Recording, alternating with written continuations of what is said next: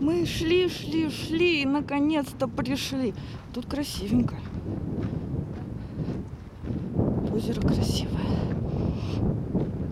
Вообще классно.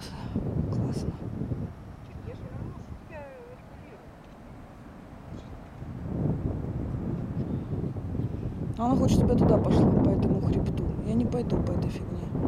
И меня вообще пугает жутко. Где люди идут? Че, не сходят, пускай, я тут посижу. Может, америкосы еще не уйдут, я с ними потреплюсь.